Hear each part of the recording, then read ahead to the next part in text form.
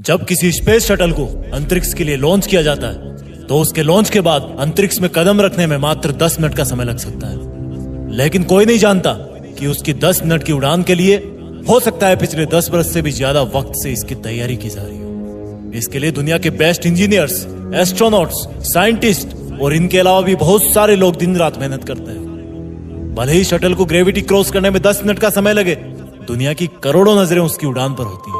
और इसको बनाने वाले लोगों को पता होता है कि अगर इस बार चूक गए तो भारी नुकसान हो सकता है। कई जाने जा सकती है। और तो और फिर ज़ीरो से वही मेहनत स्टार्ट करनी पड़ सकती है। वो इस अंजाम को अच्छी तरह जानते हैं। उनके पास कोई ऑप्शन नहीं होता। जब किसी रनर को 100 मीटर रनिंग का गेम जीतना होता है तो वो उसको जीतने के लिए उसके पहले की प्रैक्टिस सिर्फ़ 100 मीटर दौड़ के नहीं करता। वो चार किलोमीटर दौड़ता है। वो बहुत सारी अलग अलग एक्सरसाइज करता है। अपनी डाइट पर हेल्थ पर ध्यान देता है। अलग अलग मौसम में दौड़ता है। थकने के बाद भी दौड़ता है, टूटने के बाद भी दौड़ता है, क्योंकि उसको पता है, इसके बिना वो विजेता नहीं बन पाएगा। जब किसी को एग्ज़ाम का टॉपर बनना होता है तो वो सिर्फ़ एक किताब नहीं पढ़ता। वो चालीस किताबों से ज्ञान ढूंढता है। एक मौसम में नहीं पढ़ता, हर मौसम में पढ़ता है। एक ही वक्त पर नहीं पढ़ता, थकने के बाद भी पढ़ता है, टूटने के बाद भी पढ़ता है। रोता हुआ भी पढ़ता है, ठोकर खाता हुआ भी पढ़ता है। पढ़ने का मतलब सिर्फ़ रट्टा मारना नहीं है।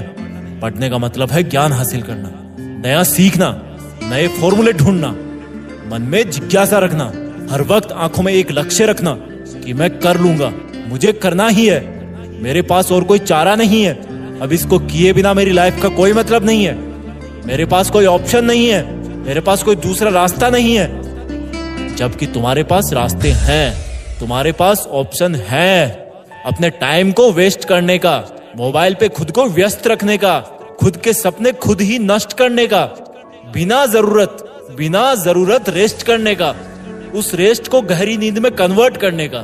क्योंकि तुम्हें ज़िम्मेदारी का एहसास नहीं है। शटल वाले वैज्ञानिकों और इंजीनियरों को पता होता है कि उन पर ज़िम्मेदारी है। सिर्फ़ एक चांस है। करोड़ों की उम्मीदें हैं। कंट्री की बात है। जिम्मेदारियाँ तुम पर भी है। लेकिन फ़र्क यही है कि तुम्हें ज़िम्मेदारी का एहसास नहीं है। तुम पर ज़िम्मेदारी है अपनी ज़िंदगी बेहतर ढंग से जीने की, अपने आप को डेवलप करने की, अपने आप को सक्षम बनाने की। लेकिन फिर भी तुम्हें इसका एहसास नहीं होता। क्योंकि तुम खुद से मेहनत करने के लिए डिमांड नहीं करते। तुम्हें बदलाव सिर्फ़ अपने सपनों में ही अच्छा लगता है, हकीकत में नहीं। वैज्ञानिकों के पास एक चांस होता है, पर तुम्हारे पास चांस की कोई कमी नहीं है। तुम उम्र भर कंपटीशन की तैयारी कर सकते हो।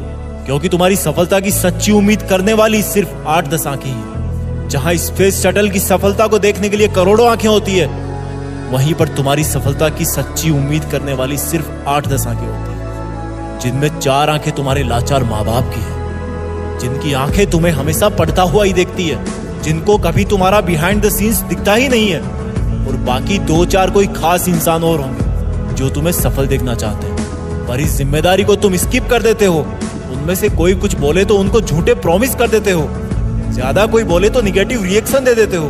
तुम जानते हो कि तुम एग्ज़ाम में फेल भी हो गए। तो भी पहले का पढ़ावा तो तुम्हारे दिमाग में रहेगा ही। तुम्हें स्पेस मिशन की तरह ज़ीरो से स्टार्ट नहीं करना। तुम जानते हो कि तुम्हारे फेल होने से शटल की तरह किसी की जान नहीं जाने वाली। इसलिए तुम्हें इनसिक्योरिटी नहीं फील होती। जिस दिन ज़िम्मेदारी का एहसास होगा, ऊपर वाले से बोलोगे कि मुझे दिन के सौ घंटे चाहिए। मैं दिन में सौ घंटे मेहनत करना चाहता हूँ। और तब तुम्हारे लिए 20 घंटे मेहनत करना बाएँ हाथ का खेल होगा। तुम्हें अपने लिए चांसेस की एक लिमिट तय करनी होगी कि बस इसी चांस में करना है मुझे। तब तुम्हें एहसास होगा कि अगर तुम इस बार नहीं कर पाए तो तुम्हारा शटल क्रेश हो जाएगा। तुम्हें फिर कई साल मेहनत करनी होगी। तुम्हें ज़ीरो से स्टार्ट करना होगा। कई लोगों का दिल टूटेगा। खुद को कोसते रहोगे कि वक्त था, किताबें थी, बस दिल और दिमाग जोड़ना बाकी था। जोड़ लेता तो आज इस तीन घंटे के एग्ज़ाम का नतीजा पूरी दुनिया देखती। लेकिन इसके लिए तुम्हें रनर की तरह दस गुना ज़्यादा मेहनत करनी होगी। स्पेस शटल की तरह एकदम एक्यूरेट प्लानिंग करनी होगी। तुम्हें वक्त को भूल जाना होगा। वक्त की कदर करोगे तो वक्त तुम्हारा लेवल अप कर देगा।